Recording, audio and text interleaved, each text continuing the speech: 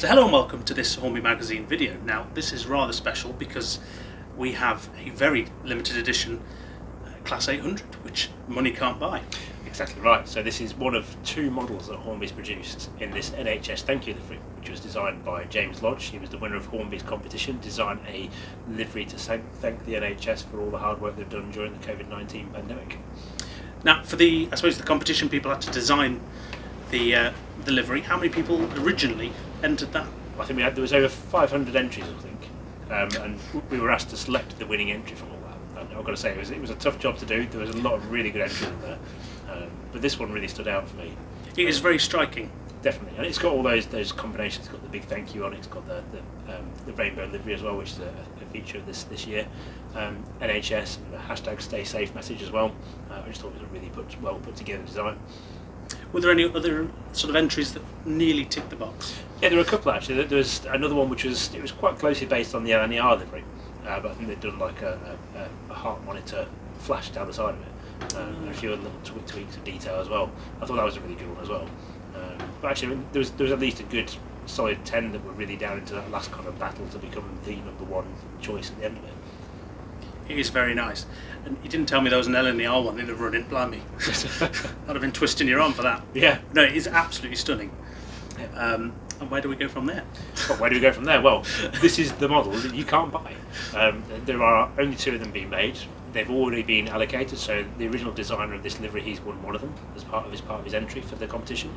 And the second one was rattled off through a JustGiving page that Hornby organised to raise further funds for the NHS as well. So this has been a good fundraising exercise by Hornby to support the NHS heroes who've been working really hard this year to look after all. I wonder if they'll do any more of these competitions.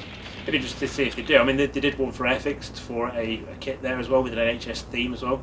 Um, so it's not just the Hornby Railway side that's pitched in on this, it's also the Airfix brands worked on it as well.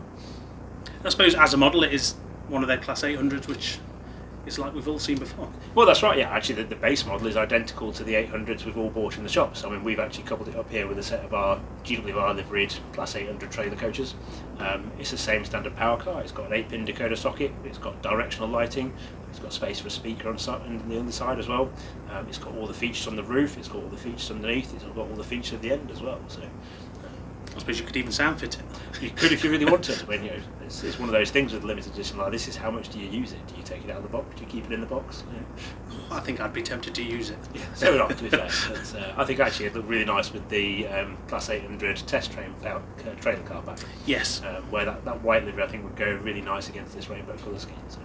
I'm sure James wouldn't mind if we kept it a little longer and brought some more the coaches out. Yeah, I think he's pretty eager to get it out. yeah, it's, and deservedly so. I mean, it's a very special thing, and well done to James for design and delivery and to, to, to, for winning this fantastic model as part of that competition.